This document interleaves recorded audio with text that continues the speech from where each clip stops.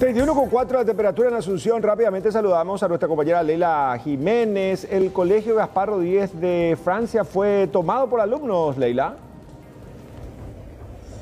Y a tempranas horas de este viernes, Roberto, Mercedes y televidentes, ya los alumnos de la escuela Doctor Rodríguez de Francia, como ya estaban mencionando, decidieron tomar institución a falta de maestros, decían ellos. Iniciaron prácticamente este año con eh, tres a cuatro maestros y el día de hoy amanecieron nuevamente con que otros maestros trasladados a otra institución educativa ya que participaron de los concursos correspondientes y fueron derivados otros sitios. El día de hoy prácticamente ellos cuentan nada más que con dos docentes para seis aulas del primero al sexto grado. Esto es lo que ellos nos van a explicar de alguna manera también para tratar de conversar un poco con algunos de los alumnos que siguen aquí, los padres también que están acompañando esta toma y dicen que van a continuar hasta conseguir una respuesta concreta. Vamos a ver si podemos con las madres aquí para que se acerquen un poquito y tratar de conversar. Estamos en vivo para Canal 9, señora, para que nos explique nuevamente su situación, eh, porque decían ustedes que no van a levantar la toma hasta conseguir una solución concreta. Eh,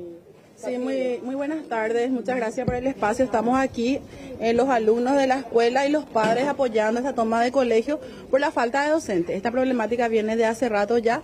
No recibimos respuesta del Ministerio de Educación. Hemos y en esta semana, en varias ocasiones, tenemos siete notas realizadas en menos de un mes, puertas, y nos dicen que nuestro problema es secundario, que solamente ellos van a aceptar y atender problemas que sea toma de colegio. Y tuvimos que lamentablemente realizar y tener que hacer esto para poder ser escuchados. ¿Cuáles son los grados afectados en este caso? ¿Cuántos maestros faltan? En el primer ciclo, que se segundo y tercero, los tres docentes. Cuarto, quinto y sexto sería el sexto grado. O sea que de seis profesores tenemos dos, nos faltan cuatro docentes. Actualmente, más a estos sumados, que sería séptimo, octavo y noveno, tenemos profesora de ciencia ni de ética. ¿Qué pasó con estos profesores? Supuestamente fueron llamados a concurso y se fueron.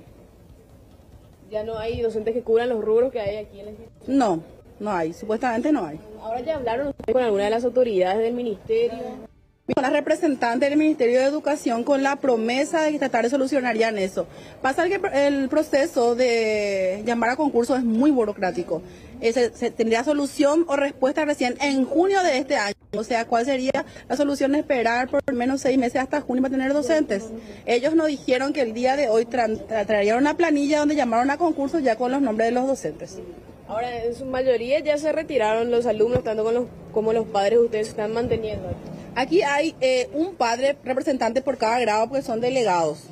Y los alumnos también están. Algunos que otros sí estamos cuidando también la integridad de los, los más pequeñitos, sobre todas las cosas, ¿verdad? Estamos cuidando mucho su salud, tanto física, ¿verdad? Como psicológica también, porque esto también le afecta de sobremanera también a los niños. Como con, el almuerzo y demás, ¿cómo están haciendo ahora?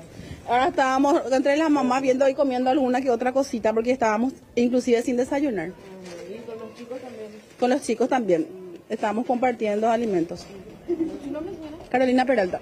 Carolina, muchas gracias. Bueno, es la situación entonces de esta institución, decían ellos que desde que inició el año lectivo prácticamente están con este problema. Solamente cuentan con dos maestros, incluso hasta la semana pasada decían que una maestra tenía que cubrir el primer y segundo grado prácticamente al mismo tiempo porque no cuentan con docentes que ingresen a las aulas a desarrollar clases, pese a que los alumnos vienen todos los días a la institución tratando de justamente dar clases, dar las materias correspondientes. Sin embargo, esto no se puede concretar por la falta de docentes.